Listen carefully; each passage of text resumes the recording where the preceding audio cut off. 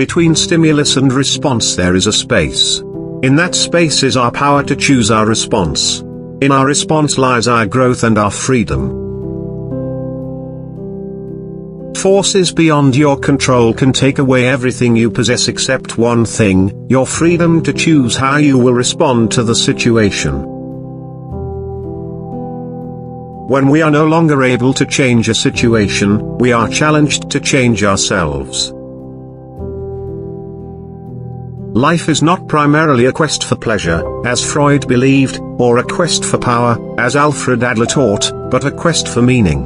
The greatest task for any person is to find meaning in his or her own life. We who lived in concentration camps can remember the men who walked through the huts comforting others, giving away their last piece of bread.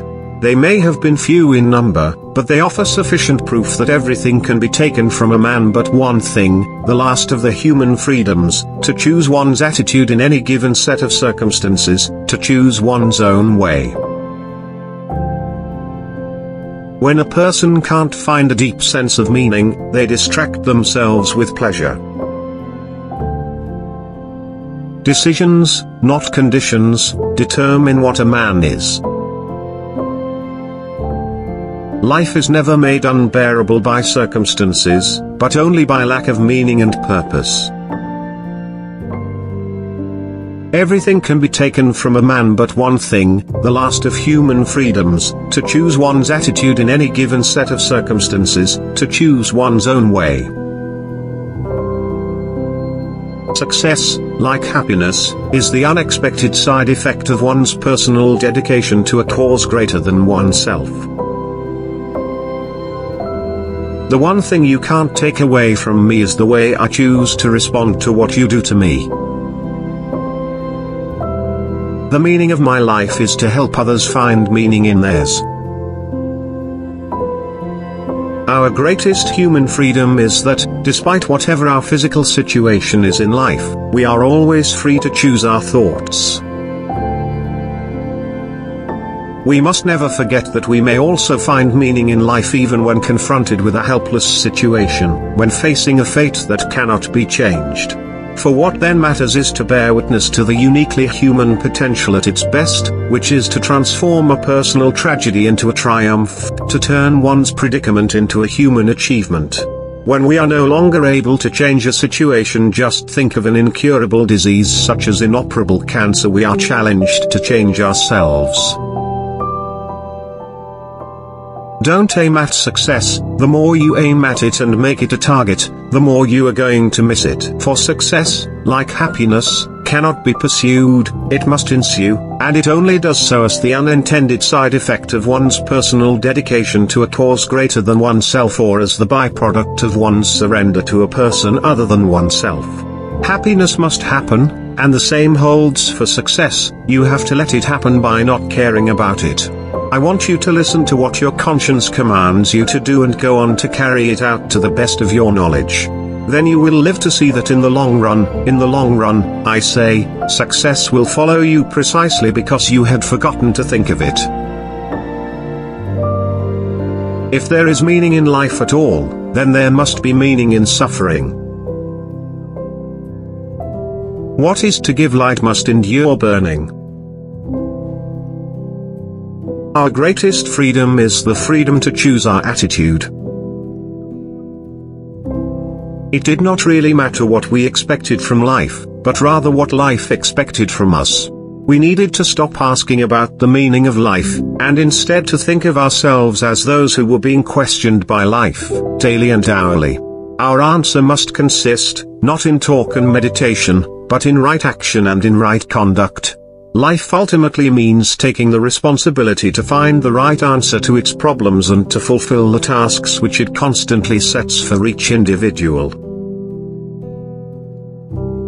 For the first time in my life, I saw the truth as it is set into song by so many poets, proclaimed as the final wisdom by so many thinkers. The truth, that love is the ultimate and highest goal to which man can aspire. Then I grasped the meaning of the greatest secret that human poetry and human thought and belief have to impart, the salvation of man is through love and in love. Being tolerant does not mean that I share another one's belief. But it does mean that I acknowledge another one's right to believe, and obey, his own conscience. It isn't the past which holds us back, it's the future, and how we undermine it, today. Live as if you were living a second time, and as though you had acted wrongly the first time. Each of us carries a unique spark of the divine, and each of us is also an inseparable part of the web of life. There are two races of men in this world but only these two, the race of the decent man and the race of the indecent man. The quest for meaning is the key to mental health and human flourishing. No one can become fully aware of the very essence of another human being until he loves him. By his love he is enabled to see the essential traits and features in the beloved person, and even more, he sees that which is potential in him, which is not yet actualized. Furthermore, by his love, the loving person enables the beloved person to actualize these potentialities. By making him aware of what he can be and what he should become, he makes these potentialities come true. The point is not what we expect from life, but rather what life expects from us. The more one forgets one's own self, the more human the person becomes. No man should judge unless he asks himself in absolute honesty whether in a similar situation he might not have done the same. Every human being has the freedom to change at any instant. Being human always points, and is directed, to something, or someone, other than oneself, be it meaning to fulfill or another human being to encounter. The more one forgets himself, by giving himself to a cause to serve or another person to love, the more human he is and the more he actualizes himself. What is called self-actualization is not an attainable aim at all, for the simple reason that the more one would strive for it, the more he would miss it. In other words, self-actualization is possible only as a side effect of self-transcendence. You don't create your mission in life, you detect it. Even when it is not fully attained, we become better by striving for a higher goal. Love goes very far beyond the physical person of the beloved.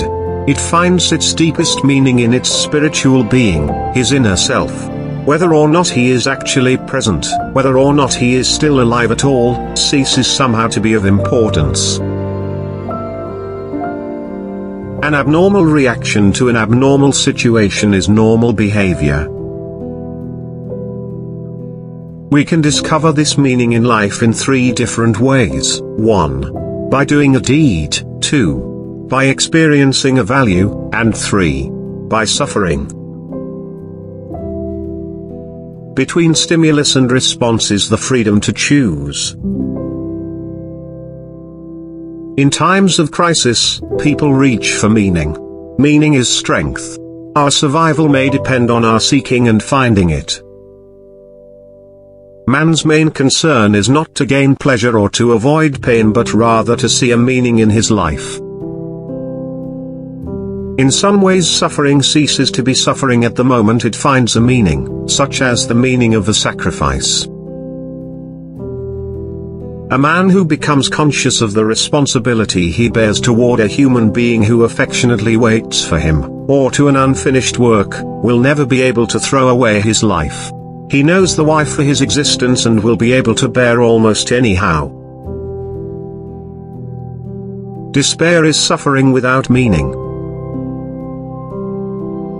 Love is the only way to grasp another human being in the innermost core of his personality. Success is total self-acceptance. Ever more people today have the means to live, but no meaning to live for. One evening, when we were already resting on the floor of our hut, dead tired, soup bowls in hand, a fellow prisoner rushed in and asked us to run out to the assembly grounds and see the wonderful sunset. Standing outside we saw sinister clouds glowing in the west and the whole sky alive with clouds of ever-changing shapes and colors, from steel blue to blood red. The desolate grey mud huts provided a sharp contrast, while the puddles on the muddy ground reflected the glowing sky. Then, after minutes of moving silence, one prisoner said to another, how beautiful the world could be.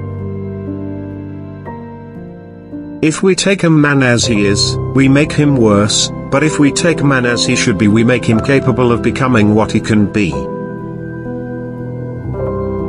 Just as a small fire is extinguished by the storm whereas a large fire is enhanced by it, likewise a weak faith is weakened by predicament and catastrophes whereas a strong faith is strengthened by them. But there was no need to be ashamed of tears, for tears bore witness that a man had the greatest of courage, the courage to suffer. To suffer unnecessarily is masochistic rather than heroic. God is the partner of your most intimate soliloquies. The attempt to develop a sense of humor and to see things in a humorous light is some kind of a trick learned while mastering the art of living. Life asks of every individual a contribution, and it is up to that individual to discover what it should be. For the meaning of life differs from man to man, from day to day and from hour to hour. What matters, therefore, is not the meaning of life in general but rather the specific meaning of a person's life at a given moment. The one thing you can't take away from me is the way I choose to respond to what you do to me. The last of one's freedoms is to choose one's attitude in any given circumstance. Which quote did you like the most? Share your opinion in the comments below. Subscribe and don't miss out the chance to see the next video.